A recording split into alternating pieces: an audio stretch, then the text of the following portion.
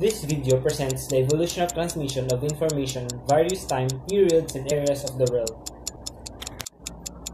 Hello everyone, this is Billy Beatingo from St. Vincent College of Cabuyao. I am now studying in my first year in college. In this video, we were talking about the evolution of transmission. But for now, let us first discuss the meaning of communication.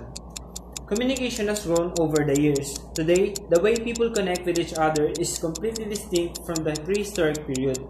Communication is limited to interpersonal contact such as person to person. And now, let us know how communication evolved. In 3000 BC, Sumerian writing system used pictographs to represent words.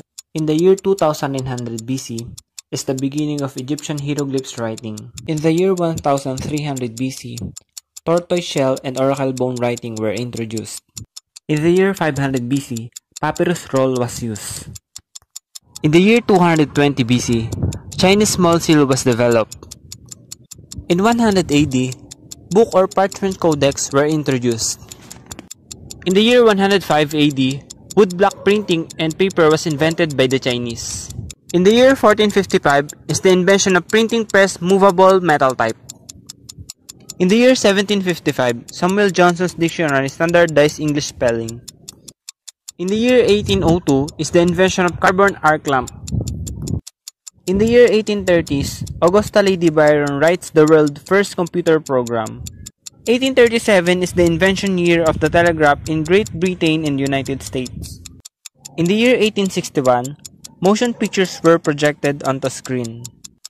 Year 1876, where Dewey Decimal System was introduced. In the year 1877, Edward Muybridge demonstrated high-speed photography. In the year 1899, first magnetic recording was released. In the year 1902, motion picture speed effect were used. In the year 1906, Lee De Forest invented the electric amplifying tube. In the year 1923, television camera tube was invented. In the year 1926 is the first practical sound effect. In the year 1940s, beginnings of information science as a discipline. In the year 1945, Vannevar Bush foresaw the invention of hypertext. In the year 1946, ENIAC computer was developed.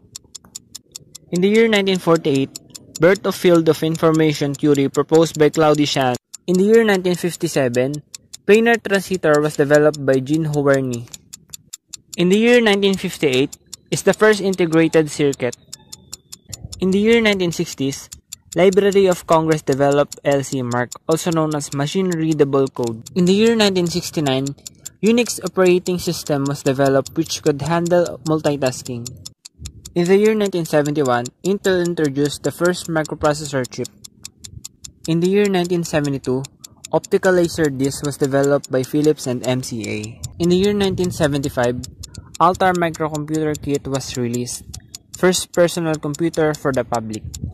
In the year 1977, Radio Shack introduced the first compute personal computer. In the year 1984, Apple Macintosh computer was introduced.